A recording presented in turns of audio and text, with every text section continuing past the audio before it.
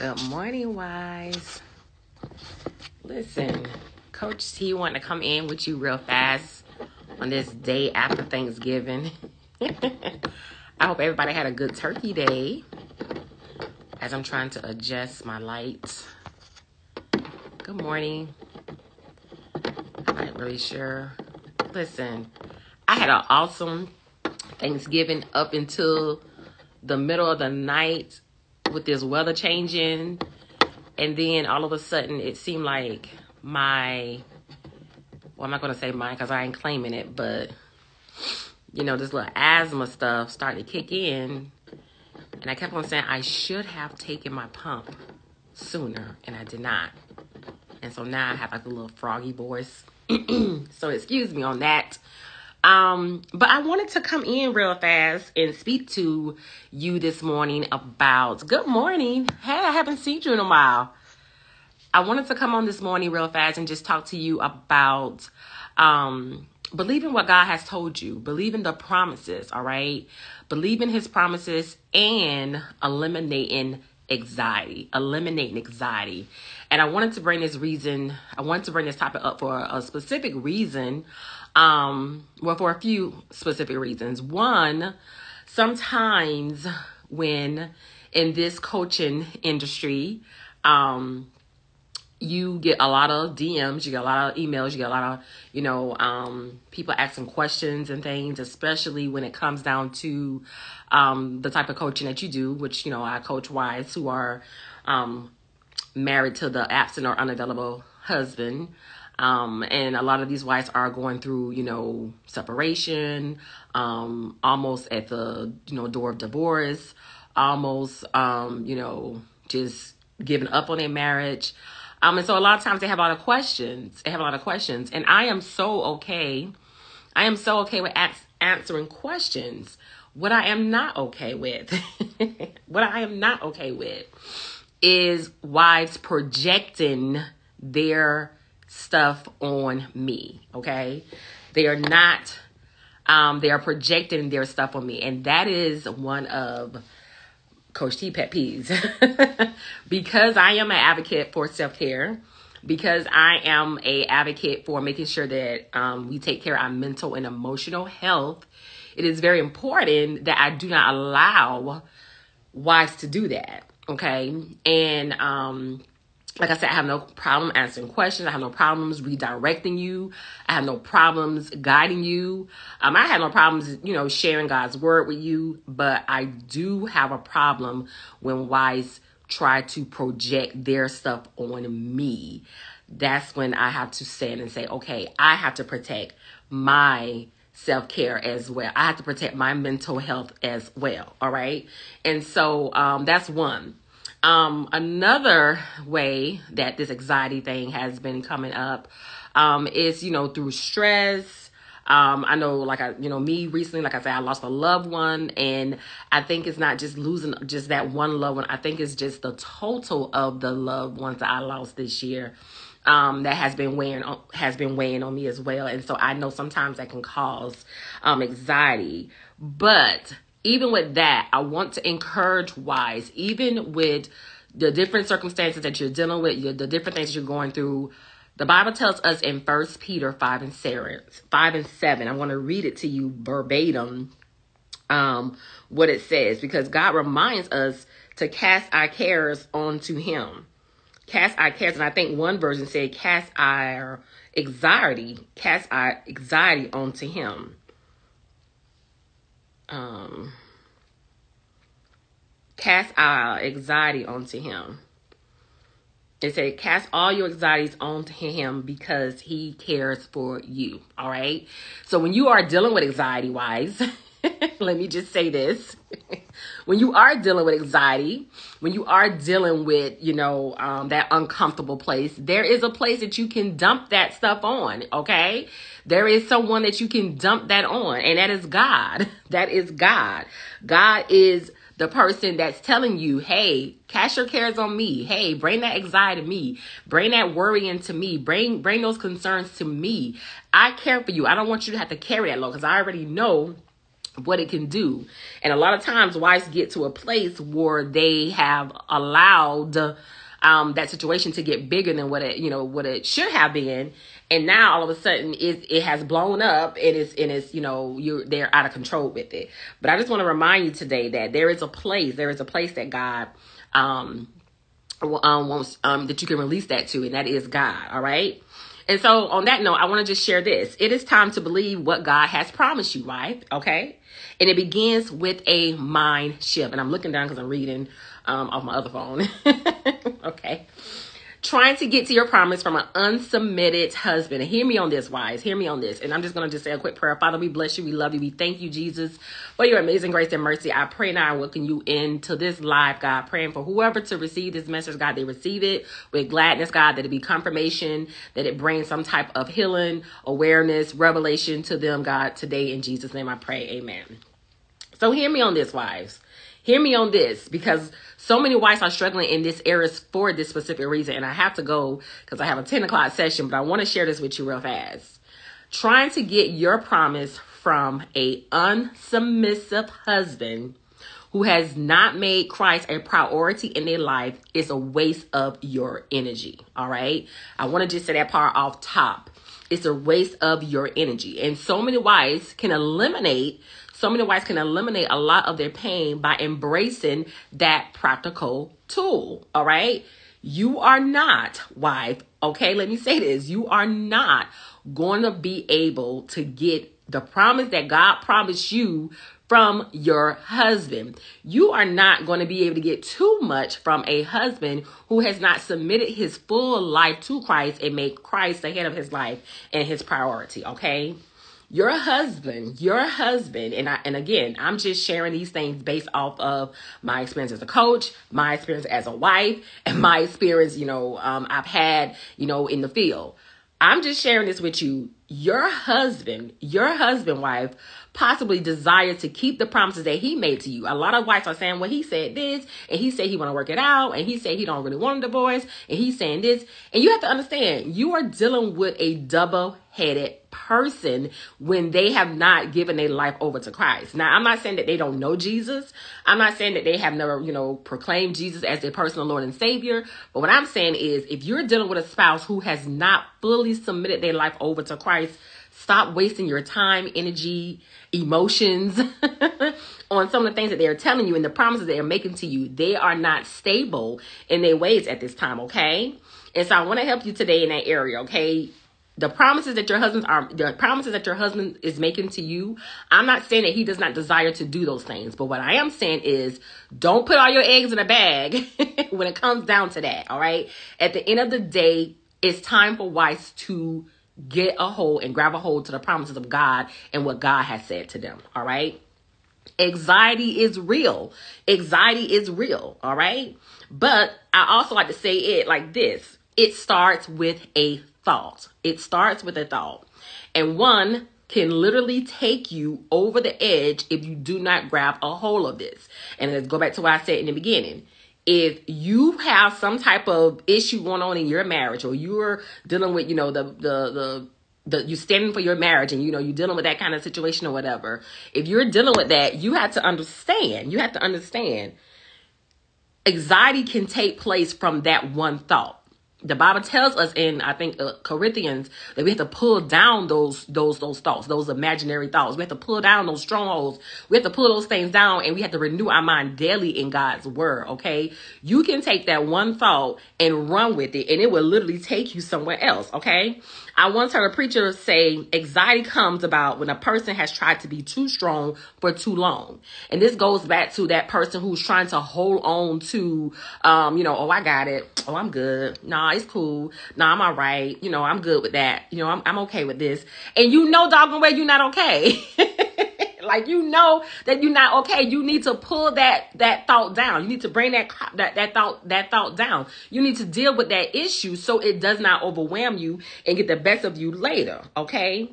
It's the thinking uh it's the thinking or anxiety. I'm going to tell you what the definition of anxiety is. Anxiety is thinking or imagining something that has not even taken place. It is defined as an intense excessive and persistent worry and fear about a everyday situation or like in this situation uh, wives who are standing in for their marriages, uh, for a wife who's probably, you know, thinking about her marriage restoration and when it's going to come about, when it's going to, you know, come to pass. All right. And when it comes to the restoration of your marriage, this feeling can seem like a nightmare. It can seem like a nightmare if you do not grab a hold to it. Okay. If you do not grab a hold to it with all of the hows and the wins, you can literally make yourself sick or crazy. And let me tell you something, Coach T is not going there with you. okay? I'm not going to go there with you. And the reason why I'm not going to go there with you because I had to try. I've had to try for many, many years of protecting my own mental health, okay? Protecting my own mental and emotional health. And so I'm not going to let you drag me down Okay. I want you to get this and understand this, wife. Anxiety is the spirit of heaviness. It's a spirit of heaviness. Okay. And once again, if you do not cap- capture that thing right away and grab a hold to it, it can take you down. All right. It can take you down. So you're probably saying, what does anxiety has to do with your marriage restoration? Like, what does that have to do with your marriage restoration? Anxiety can cause you not to believe what God promised you. Okay. And when that happens, that just reveals a lack of trust, a lack of knowledge, and a lack of faith. Okay? A lack of trust, trust, a lack of knowledge, and a lack of faith. But what happens when you do believe? Because I have some wives who suffer with anxiety, but they still do believe, right? They still do believe. Can you have anxiety and still believe God? You absolutely can. You absolutely can. But the key to it is making sure that you grab a hold to that thought quickly. If it is not lining up with the promises that God has promised you, if it is not lining up with God's word, you got to you got to bring that thought down, okay? You have to bring that thought down. And that's why it's so important to renew your mind in Christ daily. All right. Romans 12 and 2 says, Do not be conformed to this world, but be transformed by the renewal of your mind, that by testing you may discern what is the will of God, what is good and acceptable and perfect. Okay. The enemy uses your circumstances against you, but God uses your circumstances for you. All right. The enemy knows how to distract the wife. He knows how to bring different things up in her spirit, in her mind, in her, you know, in her soul to cause her to start thinking negatively or thinking against what God has already promised her. And this is why I want to come in and encourage you, wives. You cannot do that. All right. You cannot do that. And this is why you got to get healthy. All right you got to take care of not just your um your your self-care but you got to also take care of your soul. You have to also take care of your soul. And i always tell wives especially in my curriculum i tell wives you have to nurture your emotion your your soul. That's your mental that's your mind that's your heart that's your will. You have to nurture those things as well okay? This is why you have to take care of your mental and emotional health and take it seriously. So many wives are so many wives are um leaving this area and and leaving it to God alone. Like, okay, well, God, they said God gonna heal me, so God gonna heal me. All right, God gonna heal me, so I'm gonna just, you know, I'm gonna just leave like that. All right, but that is not where it stops at. Okay, you can't just say, okay, God gonna heal me, and that's all. That's it. No, the Bible reminds us that faith without works is dead. Too many wives are taking part of the Bible and making it their own, and that's not how this goes. You have a part in this. Okay, marital restoration don't just happen all on God. like you have a role to play in this, okay? No, ma'am. God is the beginning of your healing, all right? God is the beginning state of your healing, all right? But he put people, places, and things in order, but to get you to the next level on your journey, all right? So I want to talk to you about your promise because most of the time when you come to me and you come into you know i you know i sign up for her Buoyancy Boost one of the questions i'm going to ask you from the beginning is what did god tell you concerning your marriage? And the reason i ask that question because i do not want you to get the idea that i am going to be the one who fix your marriage or I'm going to be the one who can save your marriage. That is not what her Buoyancy Boost is about. I am not the one that's going to save your marriage. I'm not the one that's going to fix your marriage. I help you to heal and begin your healing your and begin your healing process by getting yourself realigned with God, all right? And I'm going to talk about that a little bit later.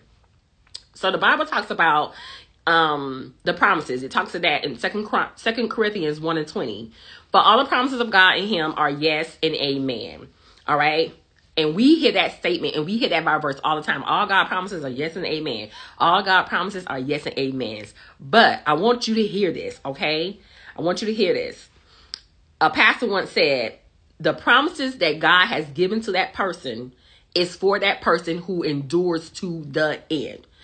I'm not saying that you're gonna have a um, you're not gonna ever have a bad day. I'm not gonna even sit here and say that you're not gonna have some some days where you like you know you feeling like kind of like mm, I don't really know about this guy. I'm not saying that, but what I am saying is you gotta learn how to battle that feeling. You have to learn how to get get rid of that get rid of that that thought and renew yourself and get yourself back to going in a forward direction. You got to learn how to get unstuck.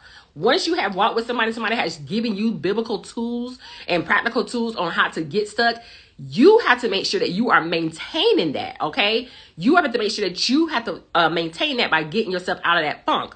God has made you a promise right? If god has made you a promise then that that promise is already it's, it's already finished. It's already said. It's already done. But there are still parts of this and there's still parts that you have to do okay you have to make sure that you are in, enduring to the end. You don't get what God has promised you without enduring. And that's why I'm always encouraging wives. And I do. I say this all the time to keep showing up. Keep showing up. You have to show up every single day like this is going to be the day that God is going to do what he said he's going to do. This is going to be the, the day that God is going to do what he said he's going to do. All right? Wise, you have to keep showing up because you already know the battle is won. But in order to get to the finish line, God has prepared for you. You have to be prepared for the promise that He has promised you. Come on, Jesus. There's no way God's gonna be like, all right, she good. I'm gonna give you the promise. I just said what I said. Here it goes. You know, enjoy. That's not what type of God we serve. That's not type of God that we serve. We serve a good, good father. Okay. We serve a patient father. He knows that we will not be able to handle some of those things that he has promised us now he has promised us he know that we won't be able to handle or we have the, the, the right attitude or the right uh, uh, demeanor or the right you know uh, we, we're in have the right character for some of those things that he has promised us this is why so many why this is why so many marriages have a lot of false starts because wives are begging and begging and begging and begging and begging and begging and pleading and pleading. God, please, God, please, God, please bring my husband back home. God, please bring my husband back home. And you're doing all these things, and then God said, okay, all right, okay, all right, I'm gonna go ahead and let him come back home. And then he comes back home, and then you have a false start, right? Then you have a false start, and you have to end up still going through that process, right? And so it's so important for wives to understand that your promise is already set. Your promise is already there. But how you get to it is by enduring. And enduring means you have to go through your process. Enduring means you have to face some hard days. Enduring means you have to you have to, you have to follow those those tools that your coach has been teaching you. You have to follow some of those steps that your coach has been sharing with you. You have to actually do the work that we're actually teaching you to do in order for you to be able to keep going. Listen, just like you as a wife have to do certain things, I, I'm a coach and I'm still a wife and I have to still practice some of those same things that I teach my wives. You have to understand this thing ain't don't get no easier for, for a coach is because we are uh, coaches in this thing. But for us who are coaches and we are wives as well, we have to practice the same exact stuff that we're teaching you. So it's important that you get that. All right. So let me share these three points and then I'm gonna let you go as coaches, like I said, we get a lot of questions about marriage restoration. All right. We get a lot of questions. And I want to say this stop looking for your husband to rescue you or to rescue your marriage. All right. That ain't going to happen. So stop looking for that. All right. Look for God. Expect God and not your husband. The only person who can heal your marriage is Him, not your coaches, not your husband, not a prophet. Come on now, not a pastor. God. The only person who can heal your marriage wives is God. When you sign up for curriculums, do not sign up under the the the the the idea that okay, this coach is going to help me bring my husband back home. No, we're going to teach you practical and biblical ways for the ones who are, you know, teaching, you know, God's word. We're going to teach you practical and biblical ways for you to work and maintain on yourself, for you to work to work on yourself. And we're going to allow God to do what he's going to do because we don't have no control over that. You don't have no control over that. So stop expecting people and stop expecting your husband to rescue you and expect God, okay? God, him alone gets the credit for healing and bringing about the restoration in your marriage, all right? Point 2. Time can be your best friend or your worst enemy. Okay? Time can be your best friend or your worst enemy. Focusing on how long things are taking to get better can literally drain and unmo- and, and make you unmotivated, okay? It can drain you and make you unmotivated. But if you are if you look at the time God is, if you look at the time from a different perspective, you can look at it as God preparing and prepping you for what's to come you will begin to see things clearly. All right. Your prayer should be, Lord, don't give me anything or allow my husband to return back to me until I'm ready. That means my attitude, my character, my patience, all that. All right. Don't give, don't, don't send my husband back home and you know my, my attitude is still jacked up. Don't send my husband back home and you know I still can't talk right. Don't send my husband still, you know, back home and I'm still, you know, I still got a major attitude with him. I got unforgiveness in my heart. Like, don't send my husband back home for that, right? I'm calling you in just a moment. Don't send my husband back home. Don't call, don't, don't send my husband back home for that. All right. And so I just want to just put that part out there. All right. Lastly, lastly, it is time for us to believe what God has promised us. All right. It is time for us to believe what God has promised us. How we do that? Like I mentioned early in this video, it starts with shifting your mindset. I've coached too many wives who have told me exactly what God has promised them about their marriage. Yet, yet, they still struggle with unbelief because of what they see happening presently. All right? Because what they see happening presently in their marriage. And you cannot focus on what you see happen presently in your marriage. All right? They're putting too much focus on the problem versus the promise. All right? Second Corinthians 4 and 18 says, So we don't look at the troubles we can see now, rather we fix our gaze on things that cannot be seen. For the things we see now will soon be gone, but the things we cannot see will last forever. All right? Sounds like faith to me, right? that sounds like faith. I won't ever get tired. I won't ever get tired of sharing and saying that marriage restoration is a faith walk. Marriage restoration is a faith walk. So when wives say, Oh, I'm standing for my marriage, or I'm standing for my marriage, make sure you know what you're standing for, okay? Because it's not just you standing for your marriage, okay? It's not just like, okay, I'm out here standing for my marriage. Now what? No, it is a faith walk. It is a faith walk. And if you're struggling in your faith, I can best believe that the promise that God has given you, you're going to struggle on your marital restoration journey as well. All right? You're going to struggle on your on your journey as well. And so I want to ask you a question, wife. Do you believe what God has promised you? That's just a simple question. like, do you really believe what God has promised you? Because if you don't, that could be an indicator that there are areas in your life that needs addressing. It's areas in your life that needs to be addressed, okay? What areas are you still struggling with? What areas you need healing in? What areas do you need deliverance in? Come on, Jesus. Who or what do you need to release in or forgive? What areas of your life you need to be intentional about? What parts of you needs to be restored? Okay, these are just some simple questions that I ask my wives when uh, when going through this this you know this curriculum before they start the curriculum. All right, and this is where her Buoyancy Boost comes in at. This is where my curriculum comes in at. All right, I support wives on their journey by using a 13 step self care soul care curriculum. All right, her Buoyancy Boost was designed to help wives become unchained from their husband's unhealthy choices and to walk in complete freedom by prioritizing her self care.